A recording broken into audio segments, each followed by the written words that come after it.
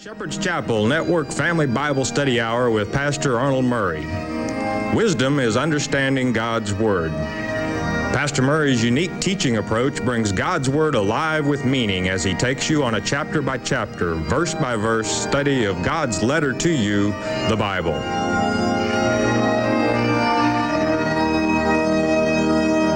And now here is Pastor Arnold Murray.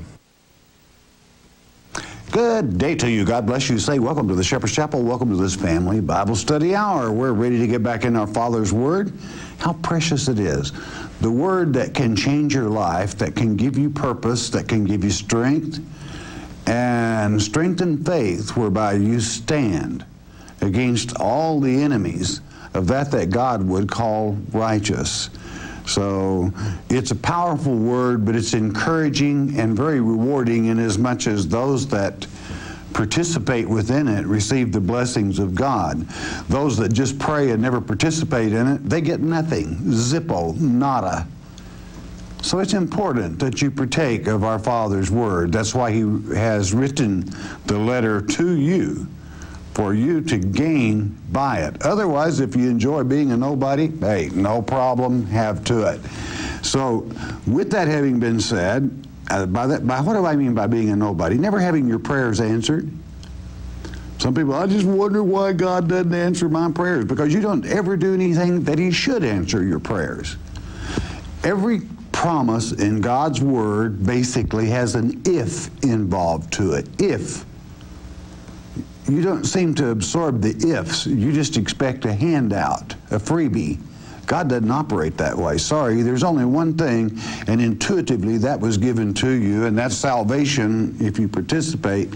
After that, you earn your rewards and you earn your blessings from Him. Or, quite frankly, as you probably noticed, they don't exist if you haven't earned them. We that do earn them, he blesses us to pieces, and I thank Him for that.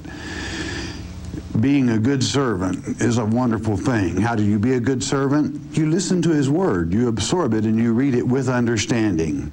That's the way it goes. Uh, so, with that having been said, let's get back into the book of Luke. Luke means light giver. Luke was a medical doctor, therefore, many of much of his terminology is given um, oftentimes in medical terminology, which makes it leaves a thumbprint to the writings of Luke, whereby a scholar knows instantly, hey, it's obvious who was the author of this particular book. This one carrying his name leaves nothing to uh, wonder. So we ask a word of wisdom from our Father. And Luke chapter uh, 22, verse 29, let's get into it. Let's set the stage just a little bit, just a little bit the disciples now were called apostles. I mean, Christ allowed them to be called apostles now, no longer students, but sent ones. Do you know what? They immediately got the big head. They began to argue among themselves which of them would be the greater. Got on a little ego trip, and anytime you allow that to happen in a group, you're going to have trouble. And then Christ explained that he, as far as greatness was concerned, he was certainly chiefest, but he had to serve them. He had to feed them. And that's what he expected his servants to do. That means you today are supposed to feed those that need the truth, and only our Father knows how badly truth is needed in the world today. I don't care how great you think you are, but you're supposed to be feeding, serving feeding the word. For as it is written in Amos chapter 8, the famine in the end times is not for bread, but for hearing the word of God. Teach it. So this is what he was telling them, and we pick it up just as he closed that thought with verse 29, and it reads, To the uh, apostles now they're called. And I appoint unto you a kingdom. I uh, covenant to you a kingdom. He does to you today. As my Father hath appointed unto me. That's a powerful statement. I don't know. Have you participated in it yet? Or do you like to be a nobody? I don't know. It's up to you. Think about it. Verse 30 that you may eat and drink at my table in my kingdom and sit on thrones judging the 12 tribes of Israel and the rest of the world as far as that's concerned. You might say, you mean we judge? Well, it's written in the millennium that God's election shall participate in that. I don't. It's not something that I would relish, but it is written. Uh, God does the great white throne judgment. But what does this judgment mean in the fact of teaching, disciplining? And every good teacher should be a good disciplinarian to see that God's word is taught boldly and straightforward. Do you want me to document that for you? As far as the eternity that you will be judges, that you will, it's written in the 44th chapter of Ezekiel, which is a millennium chapter, as to where not only will you judge, but that you will be given no inheritance in Israel because God Himself is your heritage. Boy, that is really something. Think about it. That's a very, then perhaps you can better understand why he says, I give you a king and his dominion. Just take a little home assignment of Ezekiel chapter 44. Begin reading and studying with about verse 25. Verse 31 to continue. And the Lord said, Simon, Simon. He didn't call him Peter this time.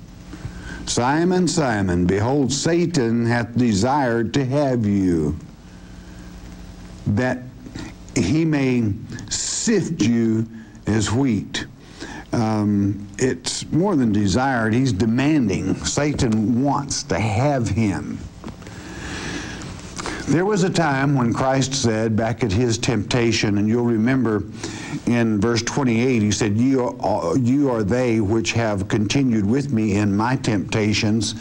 Satan tempted him up until he said, Get behind me. That was final. That was the final and the last time he was locked and secured from temptation of Christ following that. Why he failed. But you'll find a prime example of this 31st verse in the great book of Job. Job, the word in the Hebrew means persecuted. And, and um, even as Satan, as you will read in chapter 1, verses 6 and 7, how that he went before the throne of God with the other angels, Satan did. And God asked Satan, said, what, what do you think about my boy Job? Satan said, Well, he's, he's doing real good and he's rich and all that, but then you've got a fence built around him till I can't get to him. Now listen carefully. You know, God will build a fence around you today in the power and the name of Yeshua Messiah, Jesus the Christ, that Satan cannot penetrate unless you let the wall down yourself. Uh, you will find that we, we've covered it right here in the great book of Luke in chapter 10, beginning with about verse 8 to 19. God gave through the Son gives us powers over all of our enemies, even as He beheld Satan fall as a star from heaven. I don't know how how good are you at putting the wall up? God being the wall. But but Satan says, if you'll take that wall down, I can have him eaten out of my hand. Those are my words, and the analogy is true and it holds solid. And God said, okay, I'll take the wall down you can do everything, but you can't have his life, meaning you can't kill him. And Satan did about everything but kill him. And then there were three good buddies showed up and yakety, yakety, yakety for almost uh, 38 chapters, for about 30 chapters. I mean, they're giving that boy advice. And I've heard many preachers preach long sermons on the advice of those knuckleheads. Well, it's written in the Word. Yeah, but God said Himself in chapter 38 they were stupid, didn't know what they were talking about, and you preach a sermon on it? Finally, God said, Why don't you listen to me? And that Job is a book that gets that point across. Why don't you listen to the Father? And if you've seen the Son, you've seen the Father. So Satan wanted to get to old Simon Peter. You know why? Because Simon would establish uh, the original church, that is to say, the 120 that you will find gathered in the first chapter of Acts. And Satan wanted to get to him because he didn't want that church, he didn't want people grouping together in the name of Christ. That's why Satan wanted him and, and was demanding it, of all the nerve, demanding it. And do you know something? If you amount to your salt today, Satan will be demanding to get to you. But you know what? You don't have to put the wall down. Only a person not in his right mind or not thinking would allow the wall to be down in the first place. Now, continuing on so that you understand, he wants to sift him. Do you know how Satan wants to sift? He knows your every weakness and he can sift them out and just zero in on you. And um, this is one reason you never want to get hooked on drugs or anything else. He's got that right on the top of the list because you're a sucker for it. Pass a little snort under your nose and you'll just follow Satan right to his den. You got no willpower, no guts, no gumption, not too many smarts, and you're cooking the rest of them. I don't, you're really a winner, aren't you? I don't really know why God would want you in the first place, perhaps, if you continue on that track, but He will make you new. So, you see, Satan wants to sift you because he knows your ever weakness. See that he doesn't touch it. I don't know. That's up to you. Hey, whatever you want to do, have a party if that's what you want. But know your Father will always protect you and make something out of you. Don't let Satan sift you. Keep the wall up. Verse 32. I'm not saying anyone is perfect, but don't worry, Satan does know your weaknesses. 32. But I have prayed for thee. That's Christ himself prayed for thee that thou, thy faith fail not. And when thou art converted, strengthen thy brethren. In other words, the word converted isn't as we think of it in English. It's recovered would be the, uh, or maybe better yet, to revert. When you revert back to following me, because Christ knew he was going to stumble. I'm not too sure that he didn't stumble for our benefit.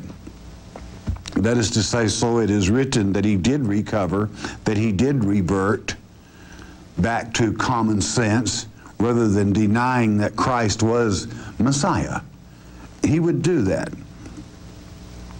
So you always want to stay with the Word and in the Word and allow the Word to strengthen you because there's not all that much strength within ourselves. 33.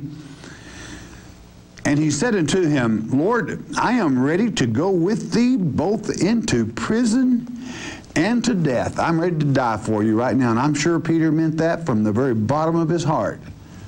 34.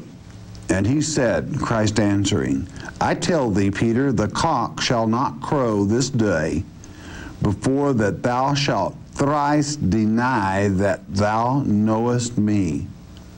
You're going to deny three times that you don't even know me. I'm sure that broke Peter's heart. I don't know. We've got a time coming up when some of God's election are going to be delivered up before the Messiah. Do thoughts like that frighten you? They don't have to, shouldn't. You should be ready, willing, and able to follow Him.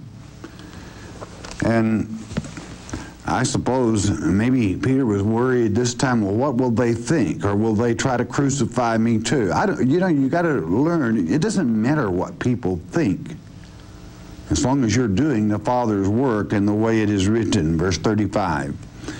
And he said unto them, When I sent you without purse and scrip and shoes, lacked ye anything? And they said, Nothing. In other words, when I sent the 70 out, two by two, I told you not to take a begging bag or anything like that and um, don't even take an extra coat. The people will take care of you. Did you lack anything? Meaning that Christ Himself, through the Holy Spirit in the presence of God, protected them every step of their way and, and um, touched hearts whereby everything was provided for them. What he's saying here, if you have your faith in me, you don't have to worry about anything as long as you do your part.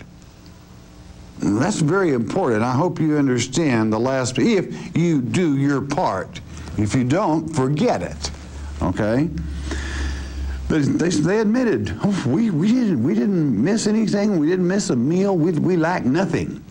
Verse 36. Then said he unto them, But now he that hath the purse, let him take it.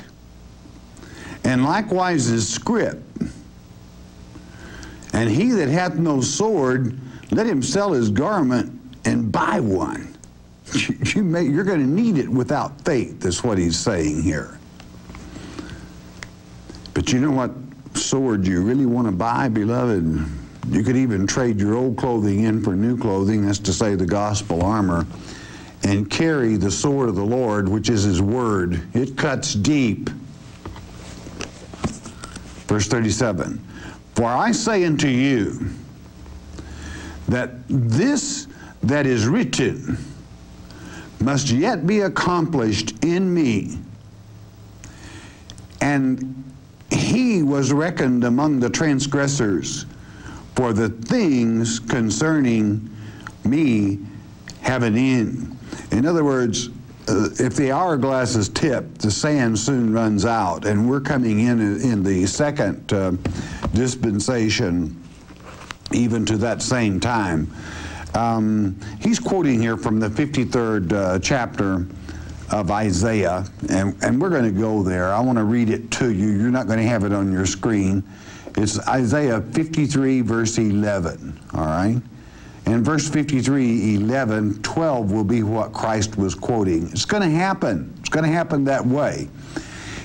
And I read verse 11 of Isaiah 53. He shall see of the travail of his soul and shall be satisfied by his knowledge. By his what? By his knowledge shall my righteous servant justify many for he shall bear their iniquities. He's going to bear their sins. Why? With his, by his blood on the cross. We know that. But now the thing is, how by what does he do this by knowledge? I don't know. Have you picked up on any of it? Have you got yours? Want to throw a little pop test here and let me check you out and see how much of his knowledge you have? Or might that embarrass you? Verse 12 of uh, Isaiah 53. Therefore will I divide him a portion with the great, and he shall divide the spoil with the strong. I don't, I don't know how how are you doing? How strong are you, spiritually speaking? I don't I'm not talking about physical strength. Because he hath poured out his soul unto death, and he was numbered with the transgressors. This is what Christ was quoting. So this has got to come to pass. And he bare the sin of many and made intercession for the transgressors. In other words, you don't have to worry about a coat or a purse or scrip doing his work. He will take care of it. He will intercede. He is the intercessor. And know this, you can trust him. He'll, he will take real good care of you. Do you know why? It's real simple. I don't know why, but he loves you. You know, sometimes before you come around, get your act together, it's pretty hard, I guess, maybe to love some people with the shape they allow themselves to get into. But he does love you. I don't care what shape you're in. And if you come back around, if you revert, he, he will bless you. He certainly will. and you know something? The person that was working in the vineyard at the close of the day received the same salary as one in the beginning. So that's a pretty, pretty good uh, deal for somebody that hadn't amounted to anything yet. But you could. Think about it.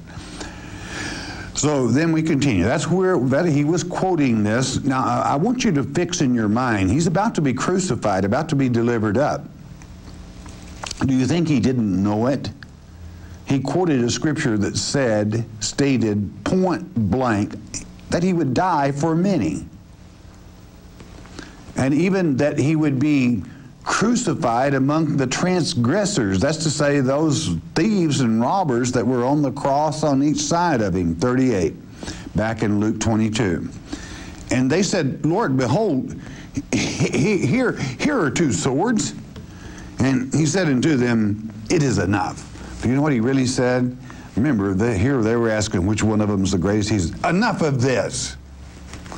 He was kind of putting them on a little bit, but I hope that you can see through it and, and understand. They're, they're, I mean, they're ready to do battle. They're confused, but perhaps they were confused so that perhaps you could see yourself today in this generation when so much needs to be done?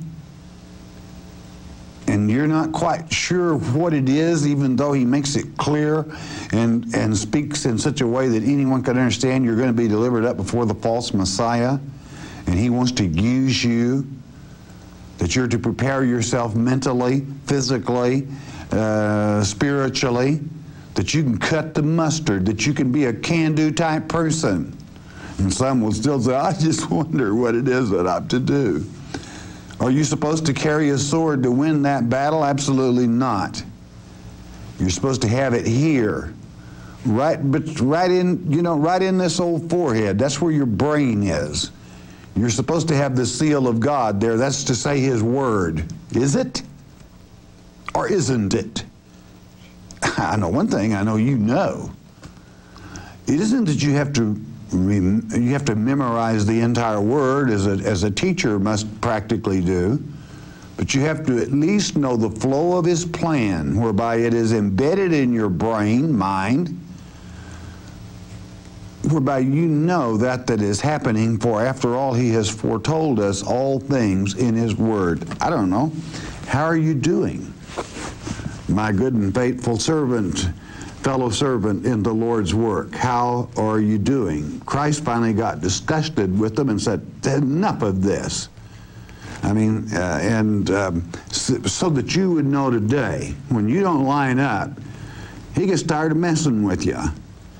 But anytime you call on him to revert or to convert, he'll be there, don't worry. He'll mess with you then. 39. And he came out and went as he was wont to the Mount of Olives. And his disciples also followed him, probably Bethany on the west slope of the mount. 40. And when he was at the place, he said unto them, Pray that ye enter not into temptation. He had a little chore to do. He said, just, just uh, try to think and not enter into weakness. Verse 41. And he was withdrawn from them about a stone's cast and kneeled down and prayed. Well, how far is the stone's cast? Well, I don't know. I guess it's according to who's casting it, but about that far. He kneeled down, 42, saying, Father, if thou be willing, remove this cup from me. Nevertheless, not my will, but thine be done. You know, there's a lot of poor little old revolving revs say right here, oh, it's the cup of death he wants to pass. That's not what he was talking about. He had just stated and quoted the scripture that stated what he must do.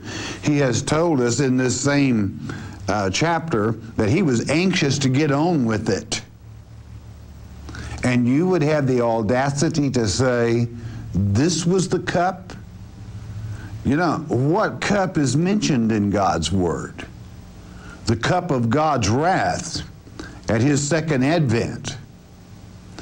Have you never read in the, uh, what is it, the 18th chapter of the book of Revelation where it says that old harlot Babylon, you know what, who she is? She's the ones that's deceived by the false Christ and he said, That cup that she tried to pass off on you when she said, I sit a queen, not a widow. In other words, she accepted the first Christ that came uh, pertaining, pertaining to the second advent, which was the false one.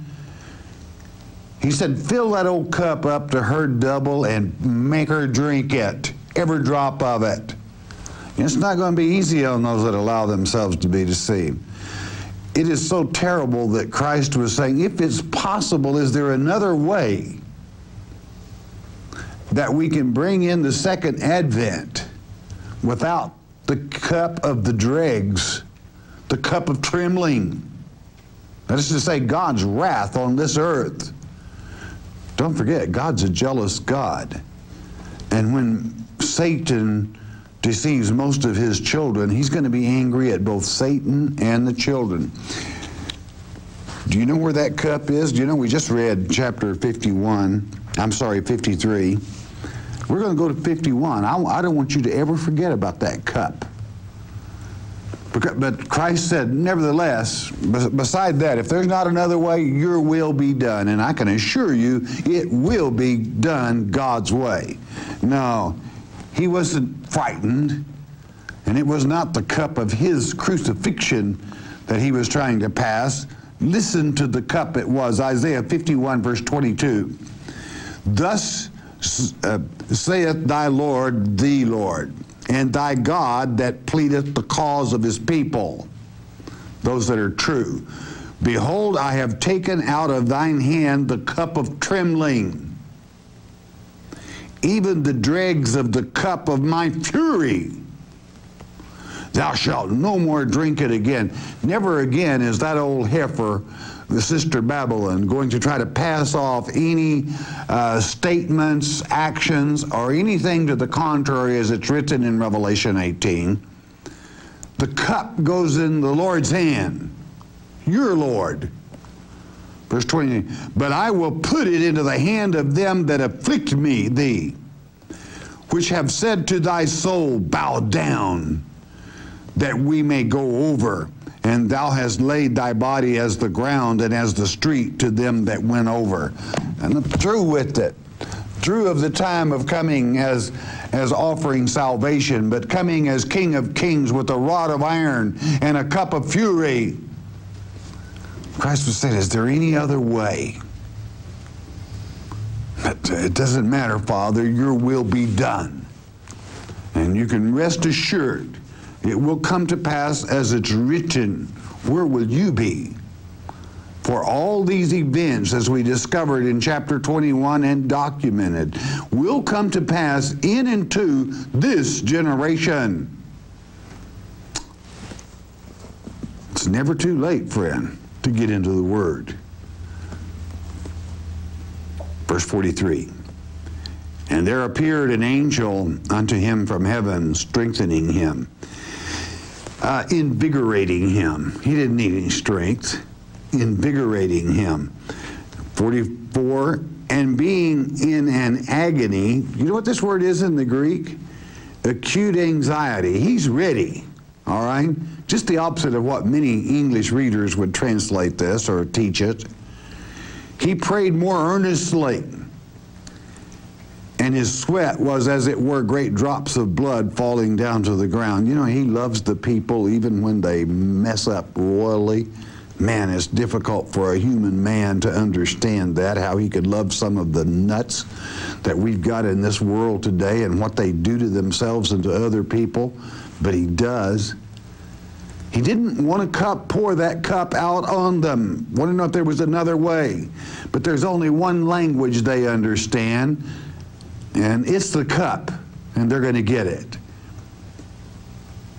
But as he's praying and asking, anxious, 45, and when he rose up from prayer and was come to his disciples, they're not called apostles here disciples, that means students, he found them sleeping for sorrow.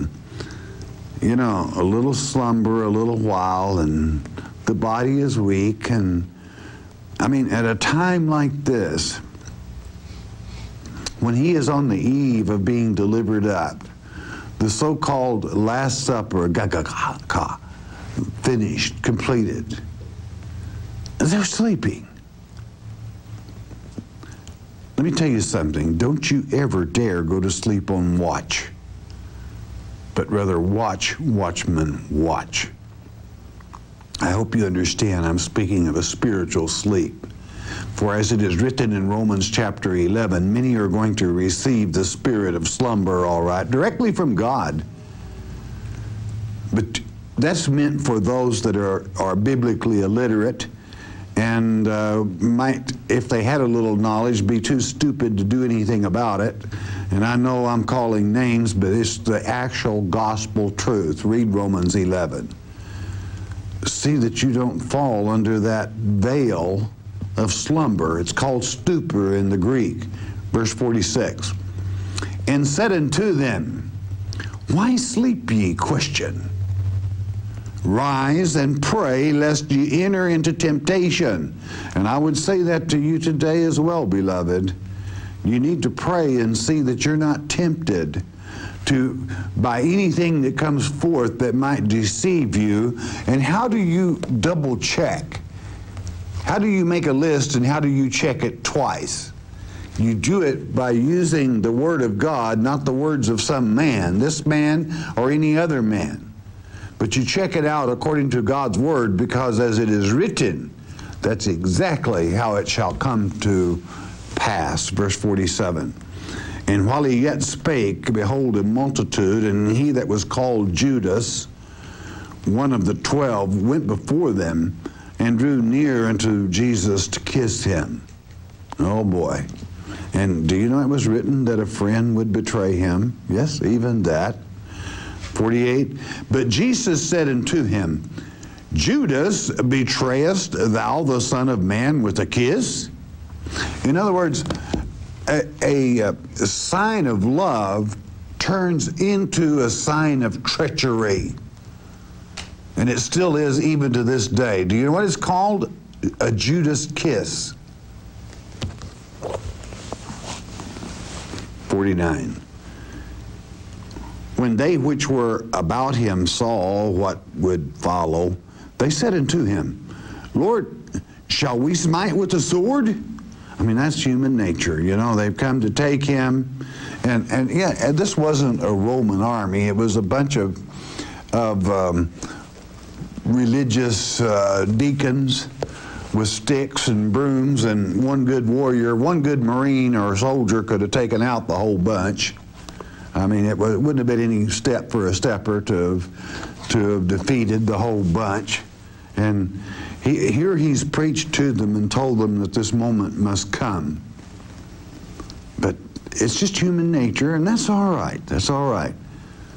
You want us to get the sword to them, and they could have scattered them, 50. And one of them smote the servant of the high priest and cut off his right ear. Bam. Now we know from another gospel that this was Peter. And um, that's right. The old boy that would deny him thrice he was ready to do battle and did battle. And this was the old high priest, number one Modog, right out there in the sticks trying to gather him in. But that that is written must come to pass, 51. Now, now let me, lest any of you might misunderstand by my saying, probably, I have no doubt, uh, being a military person, that his, the 12 could have taken the whole bunch of them because they, they were not Roman soldiers. They were deacons, all right? So that, that uh, of the church, so it wouldn't be, it, they're pushovers, all right? Uh, most of them, and you got some good deacons, all right? We'll have to say that. But uh, it would have been no problem. But the main thing is that all he would have had to have done was called a whole army of angels that could have just blown them away. That, that's the point. I want you to know that he intended to allow it to happen. So the ear is cut off, it's dangling there. The blood is flying. What does he do? 51. And Jesus answered and said, Suffer ye thus far. It's enough of this. Uh, and he touched his ear and healed him. Just like that. Boy, you know, if I'd have been one of those deacons in the front row there when that took place, I would have probably said, woo ha. Verse 52. That's not what they have on their mind, though. Then Jesus said unto the chief priests and captains of the temple and the elders, which were come to him, um, again emphasizing not Roman soldiers, bunch of religious nuts appointed by a Roman governor, yes. These are his words. Be ye come out as against a thief with swords and staves, meaning sticks. 53. When I was daily with you in the temple, you stretched forth no hands against me. But this is your hour and the power of darkness, meaning it's time for Satan's hour to come to pass. Well, beloved, there is another hour approaching. It's called the hour of temptation. You're going to be tempted. And he's preparing many of these, I, I do believe that many of the things that happened to the disciples that uh, really is a shame to them is so that you do, so that you yourself do not allow it to happen to you that you're prepared and that you're ready. By that i mean to serve as it is written concerning the gospel armor the delivering up the testimony the holy spirit speaking through you. You can cut it because you have the spirit of god in you you have the word of god in your mind whereby you know that that is written will come to pass, and you see it come to pass daily, even now.